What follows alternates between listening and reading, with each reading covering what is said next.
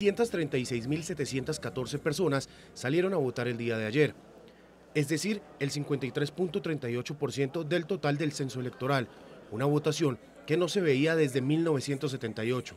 La derecha, la izquierda y el candidato que representaba el centro se quedaron con la mayoría de los votos. Iván Duque, candidato del Centro Democrático que disputará la segunda vuelta, obtuvo 7.569.693 votos. En segundo lugar, Gustavo Petro, candidato del Movimiento Colombia Humana, logró 4.851.254 votos, poniéndolo en la contienda del 17 de junio próximo. Sergio Fajardo, con 4.589.696 votos, se quedó con el tercer lugar de la contienda, seguido de Vargas Lleras con 1.407.840 votos y Humberto de la Calle con 399.180 votos. El mapa electoral revela que el interior del país apoyó a Duque con el 39.14% del total de los votos.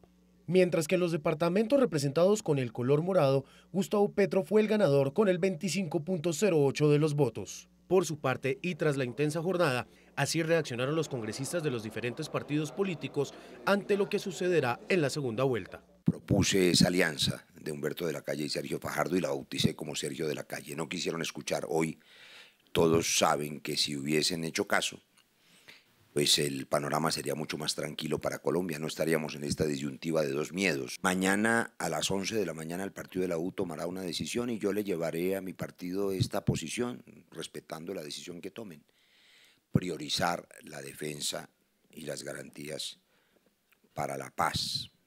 Desde la primera vuelta, la gran mayoría estábamos todos con Vargas otros estaban haciendo lo que les daba la gana, otros estaban quietos. Pues la misma dinámica creo que va a pasar para la segunda vuelta. No, no quiero entrar a revisar de pronto hechos del pasado, errores que se hayan podido cometer. Indiscutiblemente, eh, Germán Vargas era el mejor candidato. Terminamos entrampados en lo que no queríamos terminar entrampados, que era entre dos extremos. Hoy un candidato de centro en segunda vuelta. Era perfectamente viable y posible si el Partido Liberal hubiera tenido otra orientación, otra dirección. El Partido Conservador no solamente estaba con Vargas, buena parte del Partido Conservador estaba con Iván Duque y Marta Lucía Ramírez, así que había libertad para escoger. Mañana Junta Parlamentaria, el miércoles directorio y los caminos. La base ya trazó el rumbo y los caminos conducen a la fórmula Iván Duque y Marta Lucía Ramírez. Yo particularmente voy a acompañar a, eh, la candidatura de Iván Duque. Yo creo que Colombia sigue siendo una democracia liberal y vamos a tener un triunfo esplendoroso.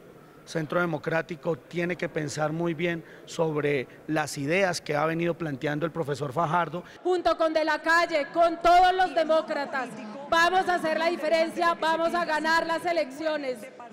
Y ante este escenario los movimientos empiezan a darse. Finalizó la primera reunión que sostuvo hoy el Polo Democrático para definir si respaldan la candidatura de Gustavo Petro o no.